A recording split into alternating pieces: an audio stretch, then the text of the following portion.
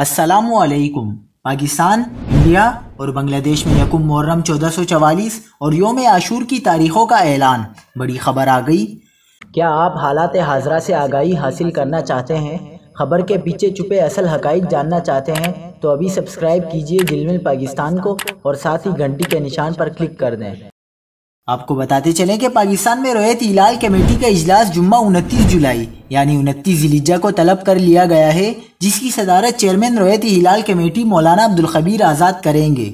माहरीन फल्कियात के मुताबिक मुतद अवामिल मसलन चाँद की कम उम्री, कम रोशन हिस्से और मकाम आबाद के करीब होने की वजह से जुम्मा उनतीस जुलाई, उनतीस जिलीजा को पाकिस्तान, इंडिया समेत अक्सर दुनिया में खाली आँख से चाँद का नज़र आना इंतहाई मुश्किल होगा। मुतद फलकियाती तहकीकत के मुताबिक, जुम्मे के रोज़ पाकिस्तान में कहीं भी चाँद नज़र आने का इम्कान नहीं।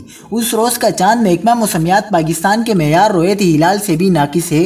चाँद नज़र आने के लिए उनका मैार ये है कि फ़र्क गुरूबेन इकतालीस मिनट से जायद और शहरी शफक के अहतमाम के वक्त चाँद की उम्र इकतीस घंटे से जायद होना चाहिए। वाजी रहे कि हफ़्ता तीस जुलाई को पाकिस्तान, इंडिया और बांग्लादेश समेत तकरीबन पूरी आबाद दुनिया में चाँद नज़र आएगा, जबकि इकतीस जुलाई इतवार को यकुम मुहर्रम होगी। अगर ऐसा हुआ तो दस मुहर्रम, यानी योम आशुर नौ अगस्त मंगल को होगा इन